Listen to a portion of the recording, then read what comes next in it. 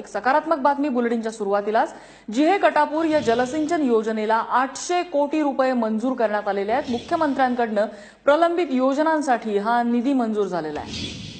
योगेश माने आमचे प्रतिनिधी आपल्यासोबत आहेत. योगेश कशा प्रकारे या बातमीकडे बघायचं? म्हणजे दुष्काळग्रस्त भागांसाठी एक मोठा दिलासा मानला जातोय. निश्चितच दुष्काळग्रस्त सातारा जिल्ह्यातल्या खटाव आणि मानसाठी मोठी बातमी आहे. साधारण गेली वीस वर्ष जी कटापूर जी योजना आहे ती प्रलंबित होती.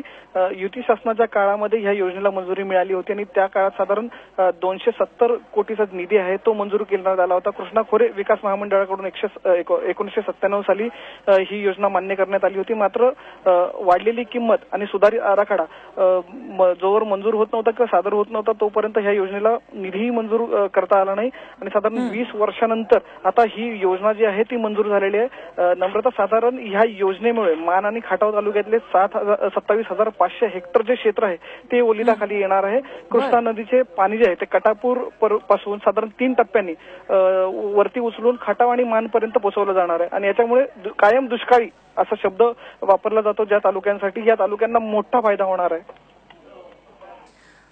योगेश धन्यवाद या माहितीबद्दल. त्यामुळे सकारात्मक बातमी आहे विशेषतः माण खटाव या दुष्काळग्रस्त भागासाठी.